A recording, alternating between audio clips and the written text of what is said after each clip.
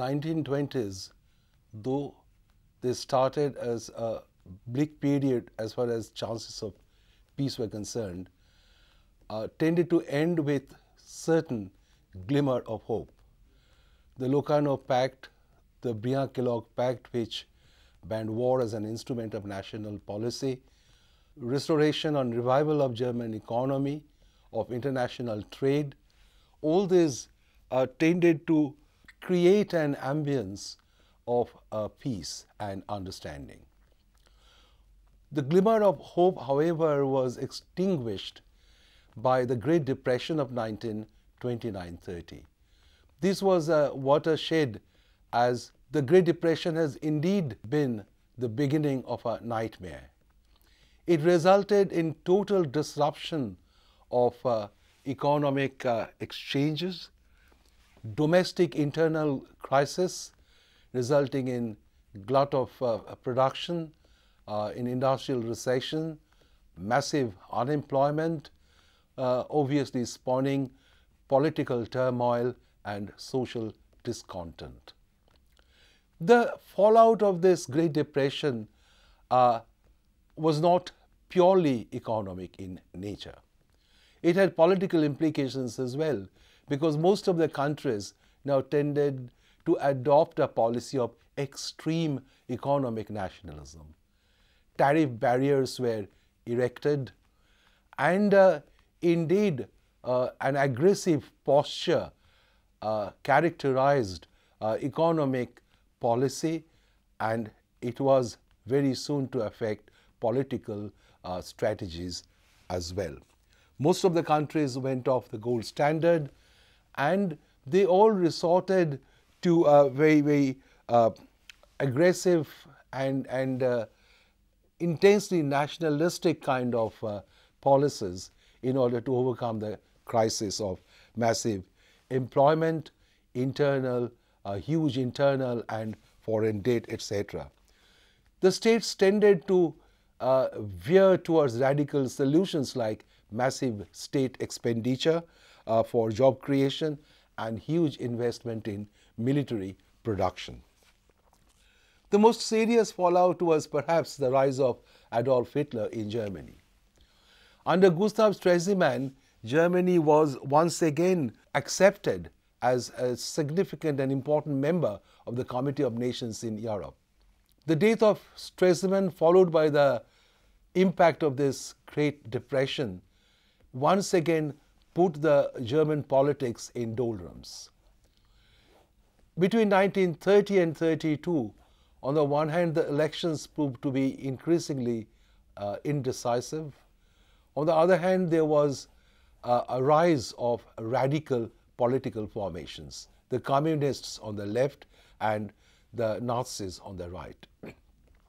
The Social Democrats failed to gain absolute majority and indeed the communists and the Nazis registered significant, indeed massive electoral gains in these successive elections during these two years. These two years were also the years of street fighting in Germany. The streets of Berlin and major other cities, as well as minor towns in many parts of Germany, had been infested with the brown shirt brigade of the Nazi party, who unleashed a veritable terror on all, particularly the communists, trying to break trade union movement strikes, etc., which were rampant uh, as a result of the economic crisis. Ultimately, when the Nazis emerged as the single largest political party in the Reichstag or the parliament, President Hindenburg invited Hitler to become the Chancellor of Germany. And once Hitler became the Chancellor, his first actions had been to repudiate uh, all reparation obligations, to withdraw Germany from the disarmament conference and then from the League. Hitler did not immediately switch on to an aggressive posture, but his early protestations of peace notwithstanding, there was no doubt that Hitler stood for German aggressive foreign policy. We have looked at Hitler's foreign policy in some details in another lecture. Here we would like to look at uh, the major other events that made war almost unavoidable in the second half of the 1930s. It is possible to argue that after 1935, war did increasingly appear to be a major option. The League of Nations had a few minor successes in the 1920s. Indeed, as we have seen, the League was always keen to try and evolve so that the League could play a more effective role in enhancing peace and in resolving uh, disputes or conflicts arising amongst the nations. But uh, it, uh, it, it, increasingly, the League was being marginalized. In many countries, there had been rise of uh, fascist regimes or, or extreme right-wing regimes. Germany, where the Nazis had come to power, Italy, where the fascists under Mussolini had already been in power, in Portugal, Salazar emerged as the dictator and kept power for a long time. In Spain, which had a republic, the uh, uh, Republican government was soon to be challenged by Falange, a right-wing formation, fascist formation.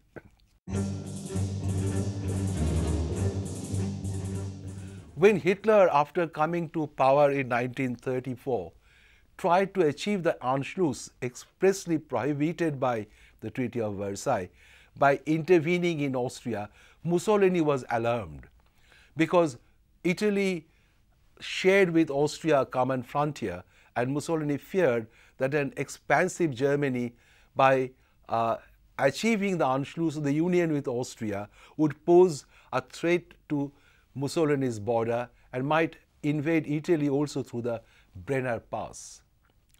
So Mussolini now tended to rise with the Western democracies, with England and France. They had uh, uh, condemned the violations by Hitler of the provisions of the Treaty of uh, Versailles, like introduction of conscription, announcement of the existence of the Luftwaffe or the Air Force, and the expansion or his plans for expanding the army as well. And they met at a place called Stresa, and this led to the emergence of the so-called Stresa Front. This demonstrated that Mussolini's uh, interest for the present was more anti-German than anti-peace or anti-Western uh, democracies. But very soon, over the issue of Italy's interest in Abyssinia, this was to be transformed and result in a silent diplomatic revolution, as it were. Italy had long coveted Abyssinia as a colony. In fact, Italy had hardly uh, recovered from the trauma of defeat at the hands of Abyssinia uh, at the Battle of Adua in 1896. The stigma of defeat, in a way, uh, stuck in the Italian psyche, as it were, and Italy, particularly Mussolini, was very keen to uh, avenge that uh, defeat. Italy had expected that the peace settlement of Versailles, as per the terms of the Treaty of London, would acknowledge Italy's predominant uh, interests, economic interests in East Africa, or shall we say colonial interest in East Africa. In fact, Italy was promised that if Germany, if, if England and France uh, made some gains at the cost of Germany, Italy would also be compensated, but Italy wasn't. In the early uh, years after the war, Italy tried to cultivate Abyssinian friendship. In 1923, Abyssinia joined the League under Italy's sponsorship, and in 1928, a treaty of friendship and arbitration was concluded with, with them. But in 1930, Haile Selassie uh, was crowned as emperor, but he was determined to rescue Ethiopia from chaos and to put the house in order. This was inconvenient as far as Italy's vital economic interests in the area were concerned. By the end of the 1920s, France was apprehensive of a German revival and was almost willing to give Italy a free hand in Abyssinia. Britain, however, was not that keen. In 1935, the French Foreign Minister Pierre Laval visited Rome and signed a few agreements with Italy. One of these was made public, the other was uh, supposed to be secret. The open public one said that France had uh, uh, ceded certain uh, modest amount of worthless lands to the Italian colonies of Libya and Eritrea. Well, the secret later allegedly indicated France's economic disinterest in Abyssinia. There was a controversy about the content of this secret agreement. Mussolini later claimed that France had indeed given him a free hand in Abyssinia, but this the French denied.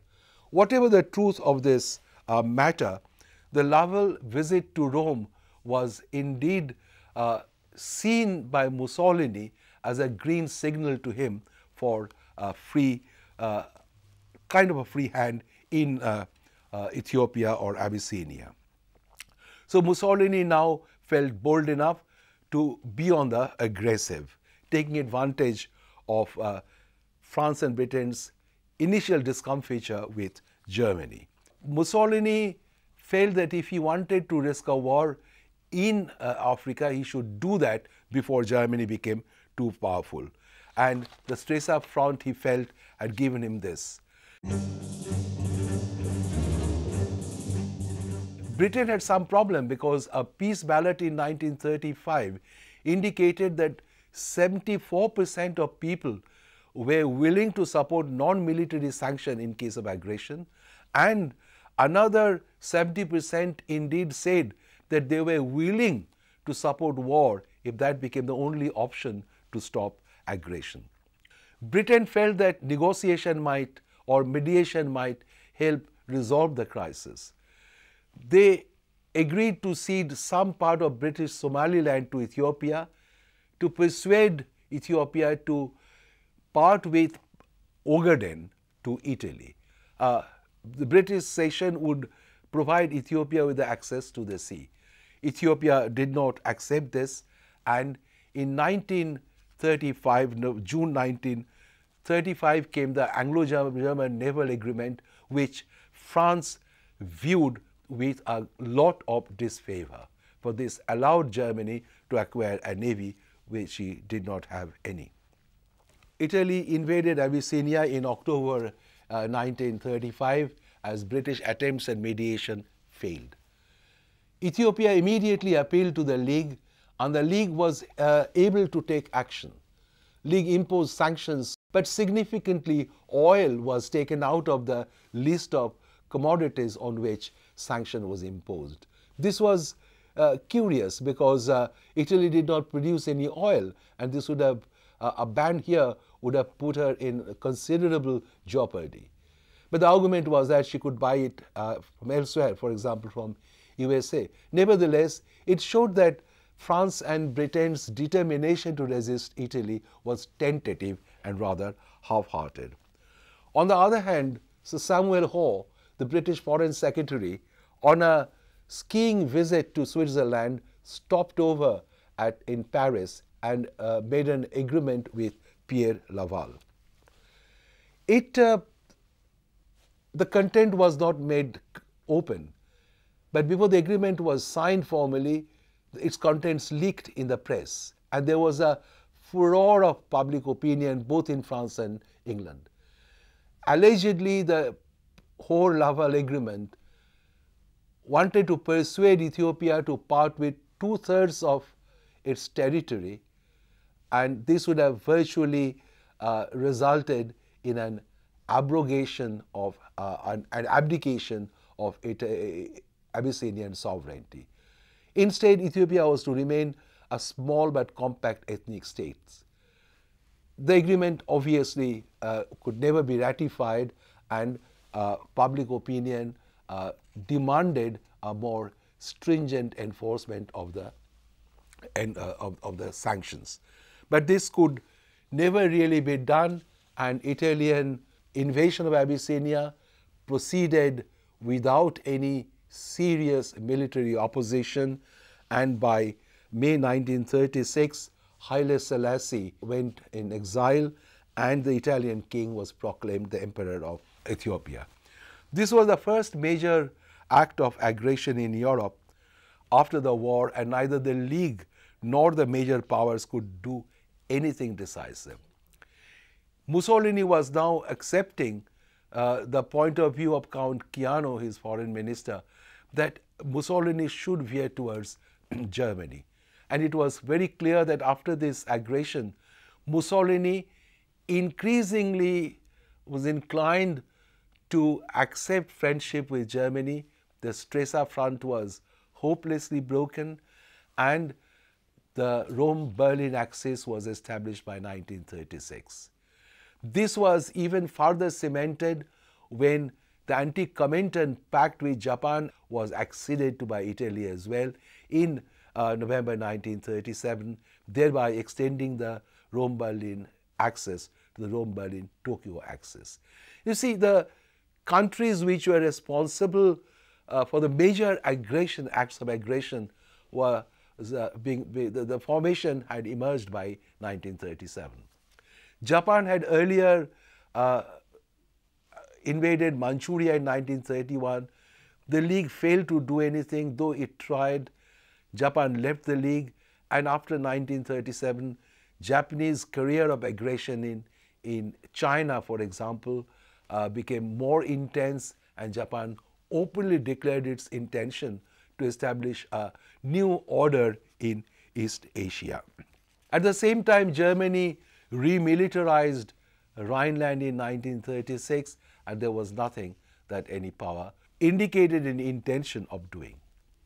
So, this was the first overt act of aggression outside uh, Europe by an European power about which the League, even though it tried, failed to do anything.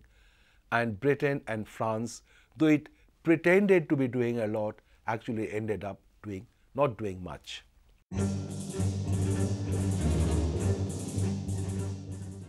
The relations between Germany and Italy began to improve, and the Spanish Civil War indeed cemented it by providing them with a good bit of practice for the eventual collaboration during the Second World War. In Spain in 1931, there was a Republican government, but it faced many challenges from the beginning. A right wing uh, formation called the Falange had emerged. It had a number of supporters in the army, and it also had the support of the Catholic Church. In a way, uh, it, it, it provided a combination of the conservative and uh, backward looking political forces, the landlords, the Catholic Church, and, and uh, it was against the working class and peasant interest, uh, something that the Republicans represented. In 1936, a Popular Front government was uh, returned by a massive mandate in the elections. This uh, Popular Front government comprised the communists, the socialists, the anarchists, and the Republican left, generally speaking. But almost from the, it, it started by uh, initiating reforms. The big estates were broken up, uh, peasants were given land. Certain actions were taken to benefit the industrial working classes as well. Liberties were restored, and generally, Spain was to emerge as a more liberal regime.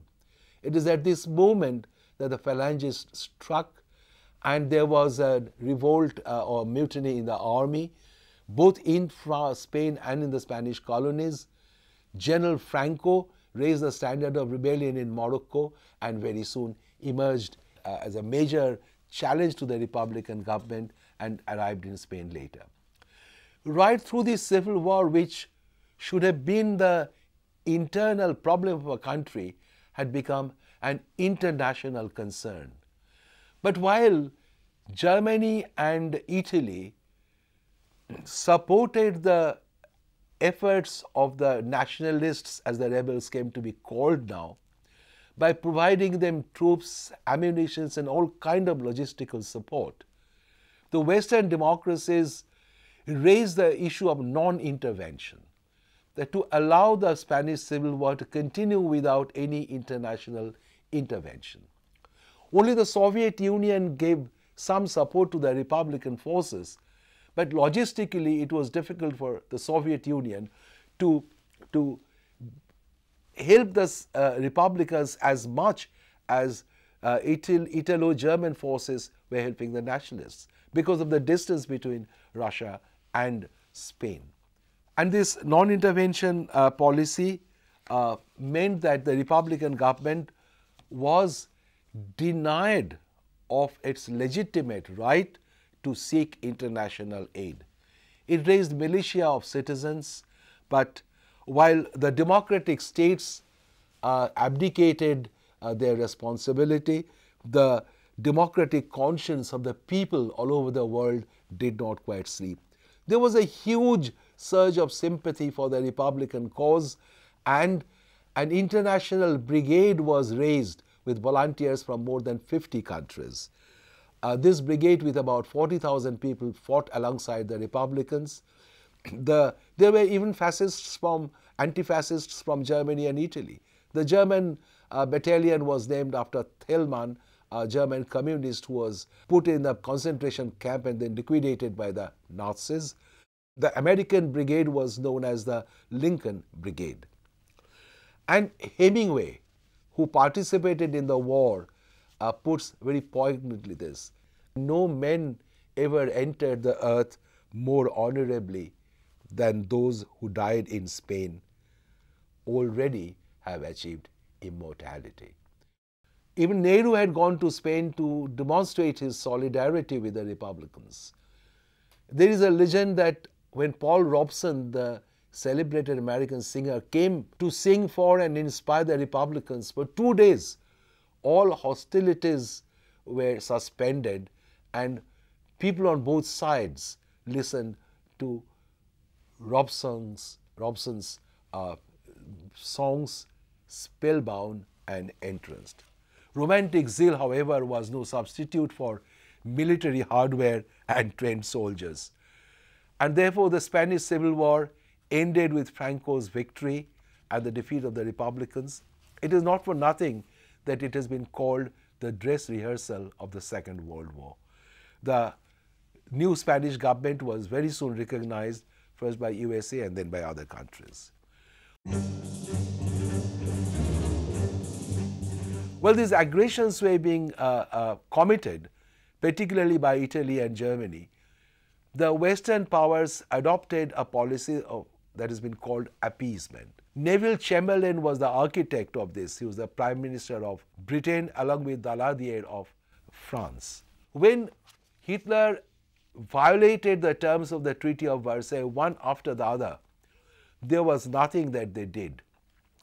When Hitler moved army into the Rhineland, the French army generals wanted to fight back, but the Prime Minister Léon Blum developed a cold feet and did not allow them to take action. They did nothing during the Abyssinian uh, War. Neither were they active during the Spanish Civil War, while Mussolini and Hitler provided all solid support to them. Indeed, when Austria, uh, when Germany took Austria in 1938, Chamberlain said that it was his, it was Germany's legitimate territorial ambition, and he even suggested that if Germany uh, achieved her territorial ambition in the East, Western Europe will have peace. The height of the policy of appeasement and international hypocrisy came at Munich in September 1938. Hitler demanded Sudetenland, saying that the Germans were being persecuted by the Czech government. Czechoslovakia was the only successful democracy in this part of Europe and therefore was a, an object of hatred as far as Hitler was concerned.